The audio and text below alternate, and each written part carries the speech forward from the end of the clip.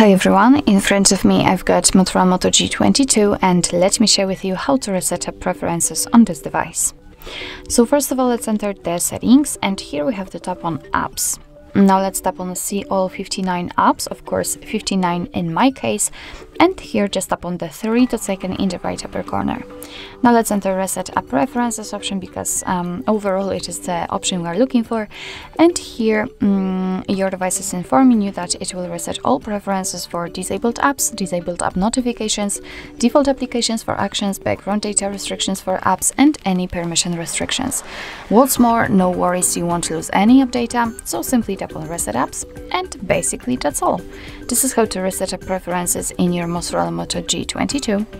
Thank you so much for watching, I hope that this video was helpful and if it was, please hit the subscribe button and leave the thumbs up.